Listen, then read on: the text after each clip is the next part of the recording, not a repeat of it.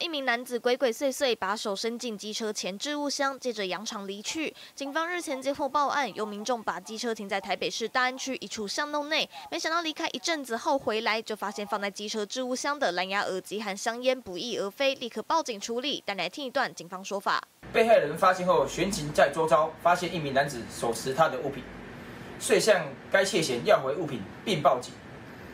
为窃嫌返还物品后，随即逃逸。被害人报警后，随即在附近发现这名窃贼，他眼见被逮个正着，就把赃物归还，随即逃逸。警方抵达现场后，就在对向人行道发现窃贼踪迹，上前查验身份，发现他竟然还是诈欺通缉犯，马上将人逮捕归案。